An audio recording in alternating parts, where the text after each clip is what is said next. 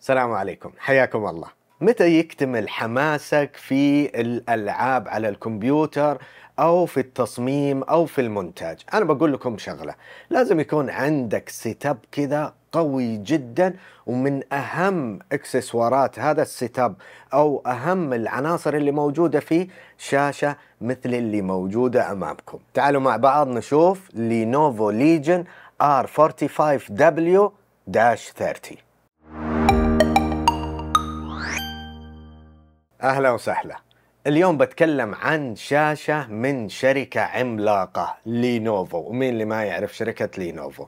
نتكلم عن هذه الشاشة واللي مساحتها ألترا وايد فيها مميزات ومواصفات عديدة. في البداية من ناحية فتح الصندوق الموضوع يعني يحتاج إلى تركيز وتمعن. يعني زي ما تشوفون الكرتون ما شاء الله حجمه يجي بداخله الشاشة ويجي stand لوحده ويجي cable ال DisplayPort ويجي ال power cable ويجي معاها يو إس بي اي إلى يو إس بي بي هذا من ناحية أيضا التحكم فيها. عندنا أيضا كتيب التعليمات وأيضا ورقة الضمان. طريقة التركيب سهلة جدا بس تمسك الشاشة من فوق وتدخل على ثلاث كليبسات كذا وتمسك. يعني ما تحتاج إلى فك وتركيب مسامير وشوفوا كيف يعني الانحناءات فيها وكيف ثابتة القاعدة. وأنت تلفها يمين ويسار فوق تحت ترفعها وتنزلها. فمناسبة جدا. ندخل الحين على المراجعة. طبعا هذه الشاشة أمامكم. زي ما تشوفون كيف العرض الشكل الخارجي زي ما نشوف القاعدة القوية اللي تحافظ على عدم اهتزازها وتماسك الشاشة في مكانها وكاتبين كلمة لينوفو في الوسط. عندنا من أهم العناصر بداخل هذه الشاشة هو التحكم فيها بيد واحدة يعني نقدر نرفع ننزل بالإضافة الميزة الجميلة فيها إننا نقدر نلفها يمين ويسار يعني بشكل جدا رائع خصوصا إذا كان عندك في ستاب وتبغى أنت تشوف في زوايا مختلفة فهي بتخدمك. طيب نجي للمواصفات اللي موجودة بداخلها. أول شيء نشوف اللي مكتوب عليها. طبعا عندنا شعار ليجن بالأسفل بالزاوية وعندنا مكتوب مساحة أو مقاس الشاشة 44 ونصف بوصة أو نقول 45 بوصة. أما الأسبكت ريشيو فهو 32 على 9 وهذه ألترا وايد زي ما هو واضح أمامكم. خلنا نفرها كذا عشان تشوفون الجمال اللي بداخلها. وأنا متعني أني أقسم الشاشة إلى ثلاث صفحات كمتصفح عشان بس تشوفون أنه الشاشة تقدر تشيل معاك يعني كثير من المهام المتعددة وفي مواصفات جايين نتكلم عنها لا تستعجلون طيب عندنا هنا اللي هي DQHD هذه دقة الشاشة. طبعا تعتبر 5K لأنه ال resolution فيها 5120 في 1440 بكسل معدل تحديث البيانات 170 هرتز. يعني في ال gaming في المونتاج بتعطيك أداء عالي جدا.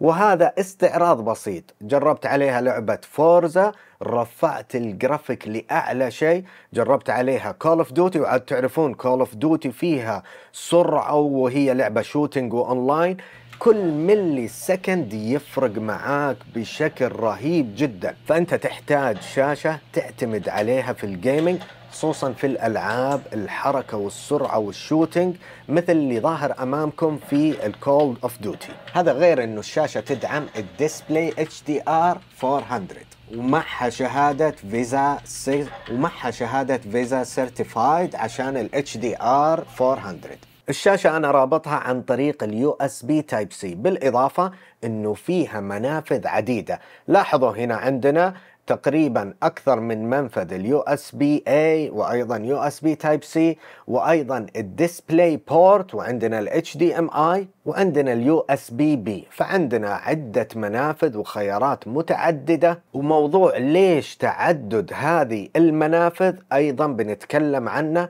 وإيش مميزات اللي ممكن تقدمها لنا هذه الشاشة. آخر نقطة عندنا AMD FreeSync Premium Pro ففي الألعاب أنت تحتاج شاشة أو معالج بداخل هذه الشاشة يفهم الألعاب اللي أنت تلعبها الألوان الحركة السرعة سرعة الفريمات التنقل وأيضا مزج الألوان. فمعالجات سواء AMD FreeSync الشاشة هذه بتعطيك قوة وأداء عالي جدا. نرجع الحين لنقطة مهمة. ليش تعدد هذه المنافذ بالشاشة؟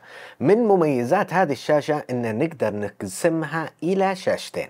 بمعنى زي ما تلاحظون الآن أنا شبكت اللابتوبين عليها. وقسمت الشاشة إلى شاشتين على اليمين اللابتوب الأول وعلى اليسار اللابتوب الثاني.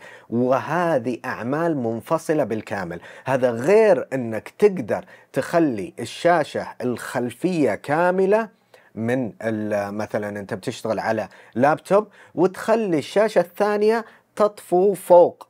الشاشة الثانية وتختار مكانها تبغاها فوق على اليمين أو أسفل بالزاوية على اليسار وهكذا. فالموضوع جدا رائع في استخدام شاشتين بنفس الوقت. وهذه ميزة شاشات الألترا وايد إنك تقدر تقسمها إلى شاشتين وايد وكل واحدة تتحكم فيها. هذا غير إنه ما راح يأثر على سرعة الفريمات. إذا أنت مثلا تشاهد شيء على اليمين وعلى اليسار يكون ال gaming والأداء العالي. أما من ناحية برامج المونتاج والفيديو فهي بتعطي لك ال timeline كامل تقدر تتنقل بينه بسهولة وببساطة لطالما إنه كان عندك الشاشة الكبيرة. بالإضافة إنه تقدر أنت تقسمها وتخلي الشاشة أو جزء منها لجلب البيانات ووضعها. فهذا ما راح يأثر عليك في العمل هذا بخلاف أو بعكس الشاشات الصغيرة أو المستطيلة. بالإضافة إنه فيها سبيكرات حتى تعطيك الصوت المحيطي من جهة اليمين ومن جهة اليسار. وطبعا الحين محبي الألعاب يتساءلون يسألون وش هو زمن الاستجابة؟ زمن الاستجابة واحد ملي سكند الشاشة تدعم حتى الألوان الحقيقية من sRGB أو DCI P3 وتدعم إلى 16.7 مليون من الألوان. والشاشة حاصلة على ثلاثة شهادات في موضوع حماية العين ال eye safe وال eye care وال low blue light في صندوق الوصف حطيت لكم رابط لهذه الشاشة بكافة تفاصيلها. والحين keyboard Legion و laptop Legion وشاشة Legion هذا ما شاء الله setup الرعب. اللي يبغى يقابلني يلقاني في Call of Duty رأيي باختصار في هذه الشاشة تحفة فنية مع قدرات خارقة. و Legion دائما يعني يطلقون على اللابتوب وحش من الداخل و stylish من الخارج. هذه ينطبق عليها نفس المقولة. أشوفكم إن شاء الله في مراجعة أخرى وفي أمان الله.